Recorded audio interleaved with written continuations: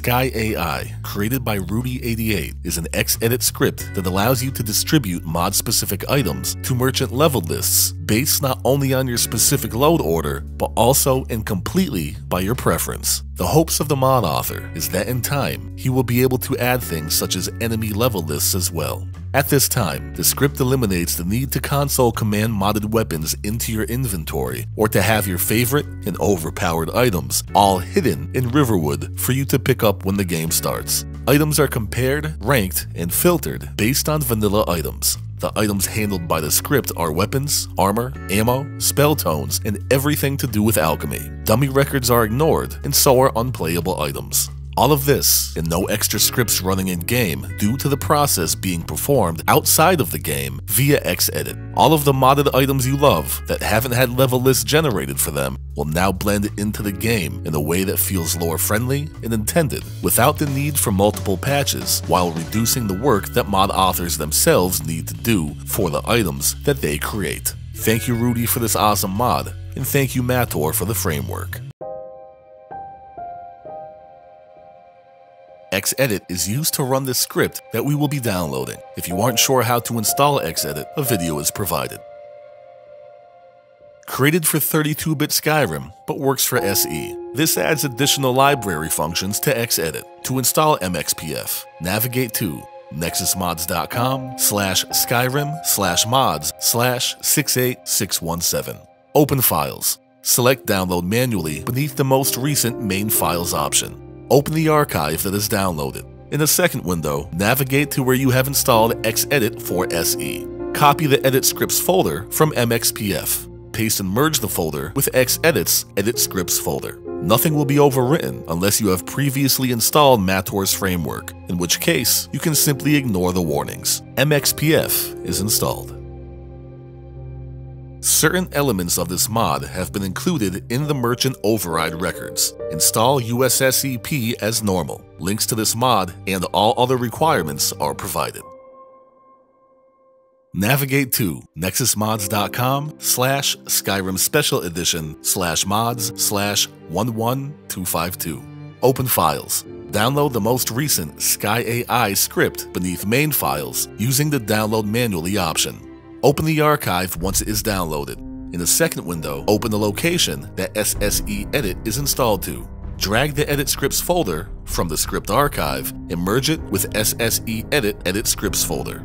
Back on the main page, download the most recent Sky AI base package within main files using the Download with Manager option. This file contains an ESP that can be installed with your mod manager as you would any other mod. However, you want to give the plugin a higher priority than mods that add items, weapons, armor, so on, so that Sky AI can distribute their items to vendors. You can simply place the plugin at the very bottom of your load order, highest priority, to be safe, though loading mods after it that have nothing to do with the affected level lists won't cause any issues. If you have been modding for a while, think of this as the final end-all patch for merchant lists. Mods like Asus are interchangeable with Sky AI, and can be loaded after Sky AI as they will generate their own patch and incorporate Sky AI into them. Just keep in mind that if you change something within Sky AI, you will also have to repatch mods like Asus that load after it to assure that you include any changes made to this mod at that time.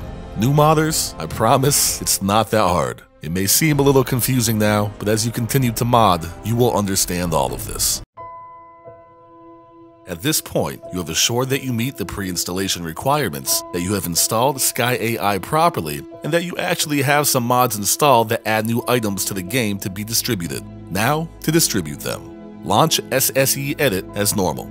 At the Master Plugin selection window, leave all mods activated, or activate them all if they are not, and select OK. Once you receive the message, Background Loader Finished, look to the left pane.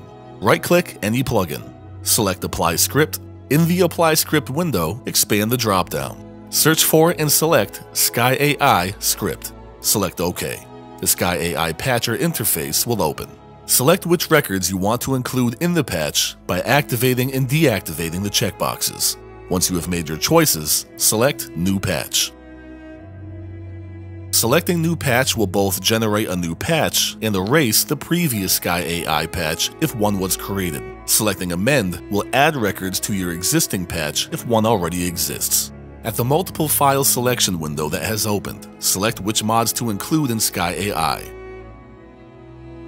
It is fine to include mods that don't add items to Sky AI. If a mod does not provide a new item to the game and you include it, there is no harm, no foul. Doing so won't affect anything whatsoever. However, what you do not want to activate here are mods like Immersive Armors, Jaysus Swords, Cloaks of Skyrim, and other mods that already have their items distributed throughout the game. This also means that you do not want to include the official game content. To reiterate, mods that add a large number of items to the game that already have their own level lists in place should not be included in Sky AI. This is because 1. These mods don't need Sky AI, due to them already being distributed throughout the game, and 2. There is a finite number of items that can be added per level list. The number is 255. This means that adding mods like Immersive Armors and Cloaks of Skyrim to Sky AI won't harm your game, but they will negate its purpose. This script adds items to level lists from top to bottom, just how plugins are loaded into the game. Once the 256 record is added, the Sky AI script will clear all previous entries, essentially wiping clean what it has already included, and continue adding whatever is left. This means that many mods may be ignored and not distributed.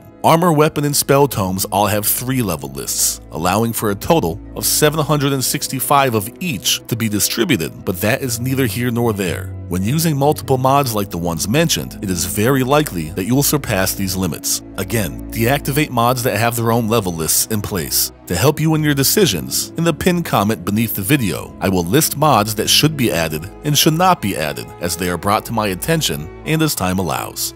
And onward we go. After you have made your choices, select OK. At the new module file window, give the patch a name. The author suggests Sky AI underscore patch, but it's up to you. Select OK and the patch will generate. Once complete, a window will open informing you of how many records were added. The messages window in the right pane may read zero records regardless of what the pop-up window said, but just ignore it. The author states that this will happen. Select the X at the top right of Xedit. In the Save Changes Files window, assure that the new plugin is checkmarked or your work will be erased. Select OK. Open your mod manager. Assure that the new plugin is activated. Load it lower in physical position, higher in priority than the Sky AI base ESP. Mod Organizer users check the Overwrite folder. If the new plugin is inside, right-click Overwrite, create new mod, title it, and then activate it first in the left pane and then in the right. The process is now complete. Sky AI is now installed. This has been a Gamer Poets tutorial, Sky AI SE Skyrim add items. For those who felt that this video was too fast, a text version of the tutorial is linked in the video description. A few more things to note for those of you who care, and who understand what I am talking about. Sky AI does work on mods that use other BIP slots, so things like Tembtra Thief Armor. However, most of the accessories, anything that doesn't have a normal armor keyword allocating spot, gets treated as clothing and will be leveled lower, level 2 or 6 if enchanted.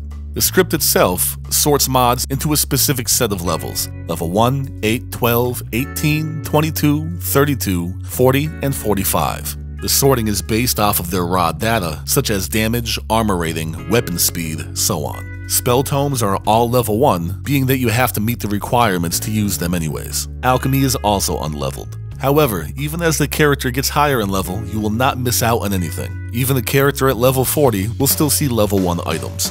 Higher level stuff will simply be rarer even at high levels, because there will be more items to choose from. The author stated that this had to be done because the alternative would be to restrict level lists to the character's current level, which means you would miss out on all of the previous stuff on previous levels. So, this is the solution. And it works out quite well. And that is that, folks. Thank you to Rudy for reaching out to me. Again, thank you for Mator for all of the work that he has done. Thank you to all of you folks for watching. And as always, I am Michael of Gamer Poets. I hope to see you next time.